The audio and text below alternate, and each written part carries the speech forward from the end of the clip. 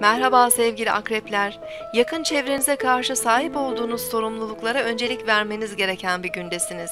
İlk önce insanların beklentilerini karşılayın. Ardından da görevlerinizi yapmış olmanın rahatlığıyla kendi ihtiyaçlarınıza yönelin.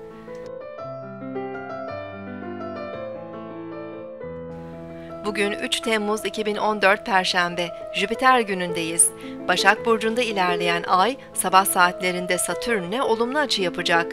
İş ve sorumluluklarımızla ilgilenebileceğimiz bir gündeyiz.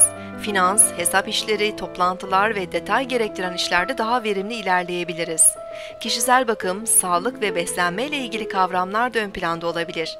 Bugün sindirim sistemimiz daha hassas olabilir. Hem bedenimizi hem ruhumuzu rahatlatacak çalışmalar yapmak kendimizi iyi hissettirebilir.